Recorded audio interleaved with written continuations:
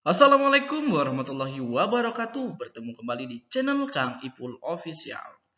Nah, bagaimana kabar teman-teman semuanya ya? Mudah-mudahan dalam keadaan sehat walafiat serta dalam keadaan semangat. Nah, teman-teman semua, eh, saya akan menyapa teman-teman yang sedang mengikuti ujian CPNS ya. Mudah-mudahan teman-teman diberikan kelulusan pada SKD ini, lalu masuk kepada peringkingan, masuk kepada SKB peringkingan dan nantinya dinyatakan lulus serta bagi teman-teman P3K guru ya yang masih menunggu pengumuman resmi yang kabarnya hari ini ya itu belum ada kepastian mudah-mudahan dalam waktu dekat uh, disampaikan pengumuman dan teman-teman masuk ke dalam uh, pengumuman golongan yang lulus. Mudah-mudahan amin amin ya robbal alamin. Nah teman-teman semuanya pada kesempatan kali ini di channel Kang Ipul Official kita akan membahas tentang hal-hal penting tentang sangga ya apa itu sangga. Nah hal-hal penting apa yang harus kita ketahui sebelum kita melakukan sangga ya? Uh, mungkin ketika pengumuman nanti uh, afirmasi teman-teman tidak dimasukkan ataupun memang kesalahan dari panitia pelaksana sehingga teman-teman uh, merasa rugi silakan teman-teman mengajukan sangga dengan memperhatikan beberapa hal penting yang kita bahas pada pertemuan kali ini. Nah teman-teman semuanya uh, jadi untuk Pertemuan kali ini akan kita kupas secara tuntas tentang hal-hal penting sanggah kelulusan P3K guru, non-guru, ataupun CPNS. Ya, langsung saja kita bahas di channel Kang Ipul Official.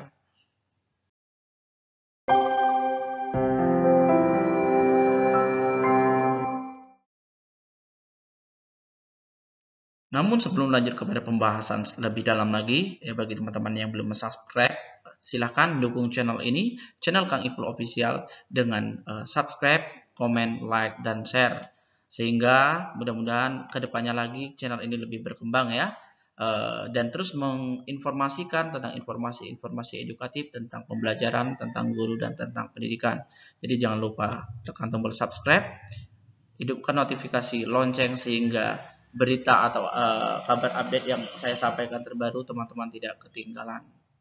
Ya, baiklah langsung kita bahas pada pembahasan kali ini. Nah, teman-teman semuanya, sebelum teman-teman mengajukan sanggah atau e, melakukan protes ya dalam bentuk protes, tapi sanggah itu dalam bentuk tulisan yang dikirimkan e, menu, e, kepada Panselnas, kepada panitia pelaksana atas sanggahan protes kita yang mungkin merugikan kita akan tetapi ada hal-hal penting yang teman-teman harus ketahui ya. Ada beberapa ketentuan yang penting diketahui bagi pelamar saat mengajukan sanggahan pengumuman hasil seleksi ujian P3K guru P3K non guru dan CPNS 2021 ini ya. Berikut informasinya.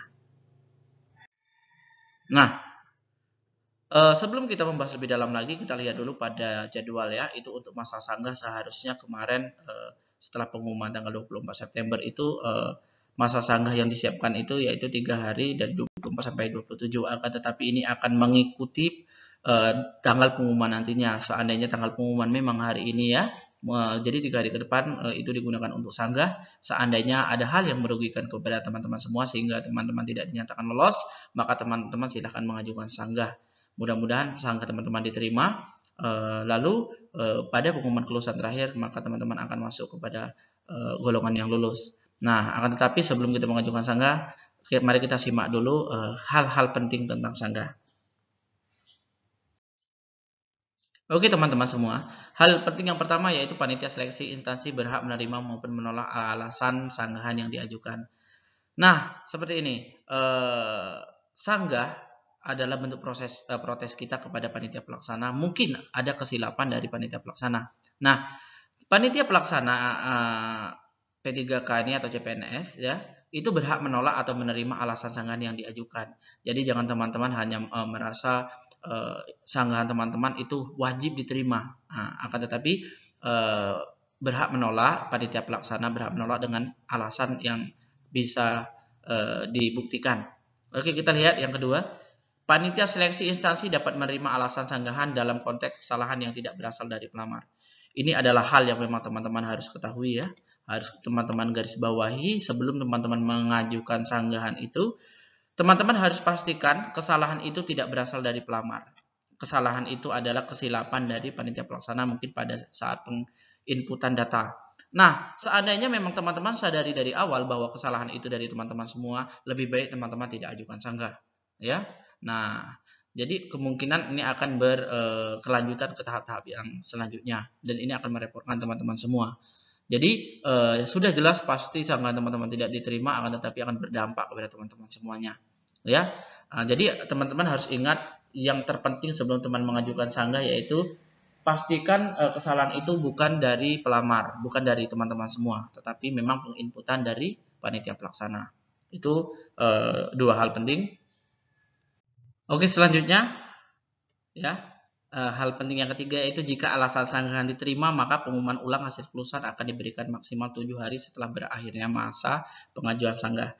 Jadi setelah kelulusan uh, pengumuman kelulusan pertama teman-teman uh, yang akan mengajukan sanggah yang ingin mengajukan sanggah ya karena memang menurut teman-teman itu kesalahan dari panitia bukan dari teman-teman semua sebagai pelamar itu setelah tiga hari masa sanggah teman ajukan maka hasil pengumuman kedua ya atau pengumuman ulang hasil kelulusan uh, akan diberikan maksimal tujuh hari setelah berakhirnya masa pengajuan sanggah ya itu ini adalah tahapnya yang teman-teman harus ketahui ya uh, jangan teman-teman uh, tidak mengetahui ini dan hanya mengikuti ego ataupun keinginan teman-teman semua. Ini semua punya, punya prosedur ya dan punya tahap-tahapnya. Selanjutnya, BKN atau Panselnas mengingatkan fitur ajak, ajukan sanggah bukan untuk memperbaiki kesalahan yang dilakukan pelamar. Jika pelamar sudah menyadari kesalahan, maka tidak disarankan untuk menggunakan fitur ini. Nah, ini adalah hal penting yang keempat, teman-teman harus mengetahui ya bahwasanya fitur ini hanya digunakan bukan untuk memperbaiki kesalahan yang dilakukan pelamar. Saya sudah sampaikan pada awal tadi ya, poin nomor dua.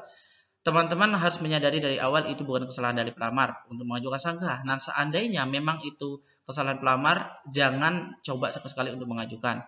Nah, seandainya eh, pelamar ya teman-teman menyadari kesalahan, maka disarankan untuk menggunakan tidak menggunakan fitur ini ya nah, jadi teman-teman kalau ini sudah sadar memang itu kesalahan teman-teman usah ya tidak usah diajukan eh, untuk masalah sanggah ini nanti akan merepotkan teman-teman semua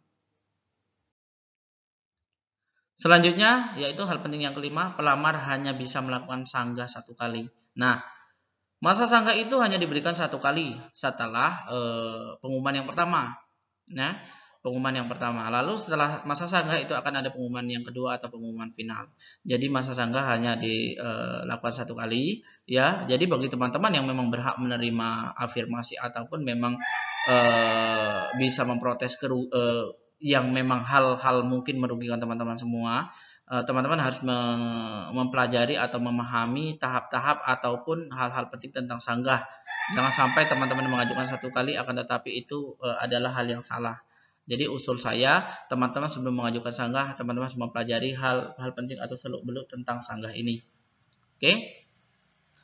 Masa jawab sanggah oleh instansi akan dilaksanakan pada tiga hari setelah pengumuman pertama. Selanjutnya pengumuman kelulusan pasca sanggah akan diberikan sesuai jadwal.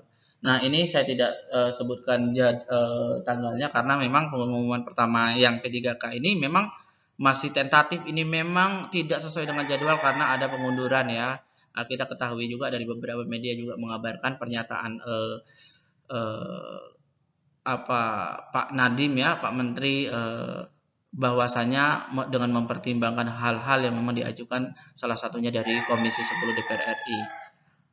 Ya, begitu teman-teman semua, mudah-mudahan teman-teman memahami tentang hal-hal sanggah ini sehingga pada saat pengajuan nanti sebelum mengajukan teman-teman bisa memang betul-betul mempertimbangkan harus disanggah ataupun tidak. Jadi itu ya uh, hanya itu saja uh, penjelasan uh, sederhana dari saya ya tentang hal-hal penting sanggah, uh, sanggah kelulusan.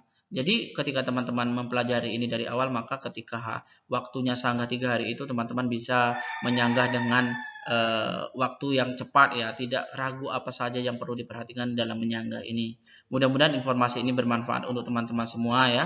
Uh, terlebih terkurang saya mohon maaf terus dukung channel Kang Ipul official dengan uh, sub subscribe, komen, like dan share. Mudah-mudahan uh, channel ini berkembang dan saya ucapkan terima kasih kepada teman-teman yang sudah mendukung channel ini sampai sekarang sehingga berkembang dan terus memberikan informasi-informasi edukatif tentang uh, pembelajaran tentang guru dan tentang pendidikan. Uh, saya undur diri. Uh, Wassalamualaikum warahmatullahi wabarakatuh. Dah.